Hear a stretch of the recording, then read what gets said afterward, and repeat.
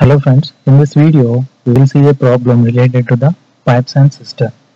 So let us consider two pipes can fill the tank in 20 minutes and 24 minutes respectively.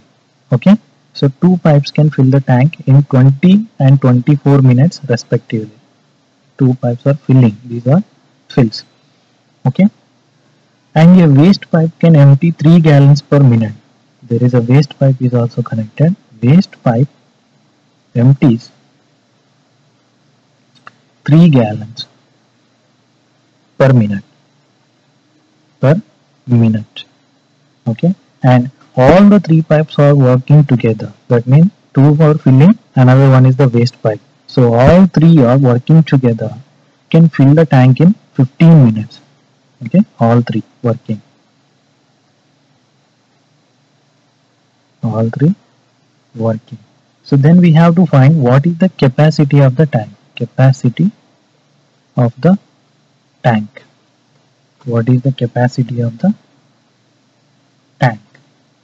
So we have to find the capacity of the tank. Okay? So first pipe takes 20 minutes to fill the tank and second pipe takes 24 minutes to fill the tank. And the waste pipe empties 3 gallons per minute. Okay? 3 gallons per minute so if all three pipes are open they are taking 15 minutes. Okay? They are taking 15 minutes. Okay? All three working together taking 15 minutes. Okay? So we have to find the capacity of the tank. Okay? So initially we do not know the capacity of the tank but okay? So if you take first one is taking 20 minutes to fill the tank and 20, second pipe taking 24 minutes. Third all three together is taking 15 minutes to uh, fill the tank. 15 minutes to fill the tank. Okay? So now initially in all the three cases uh, the capacity of the tank and the tank is the constant. So that is a constant so I will take any value. Okay? Any value. So that I am taking as a 20, 20 LCM of 20 24 15 LCM of 20 24 and 50 20 24 and 15 so it is going to be the LCM of 20 24 and 50 is going to be 120 okay? 120 okay? So it is going to be 120 units. Okay? So it is going to be 120 units. So the capacity of the tank is 120 units. Okay so 120 units. We are assuming that capacity of the tank is 120 units. So at the end we will find the actual capacity of the tank.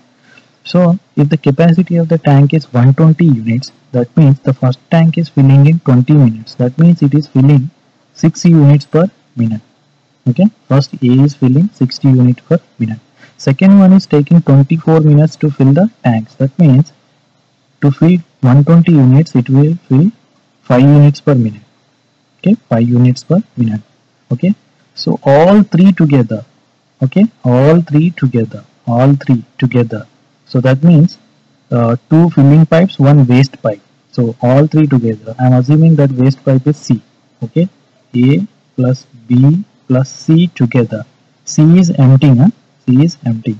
All together are taking 15 minutes to fill that 120 units. That means all together filling 8 units per minute. Okay?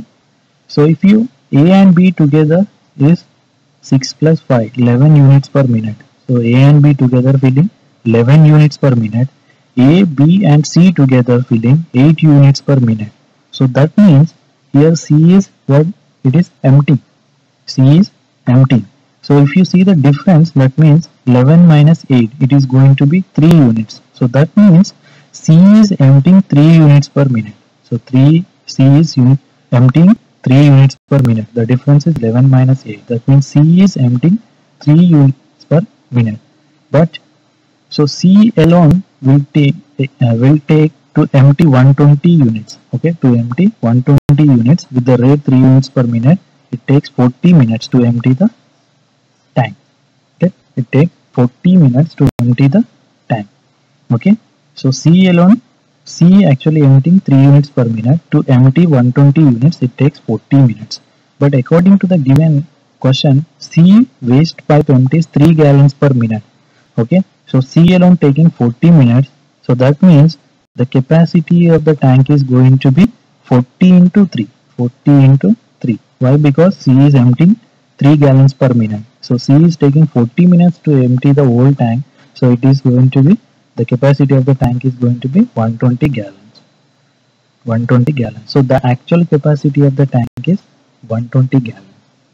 Okay? So i hope you got this one. Thank you very much for watching this video. Please subscribe my channel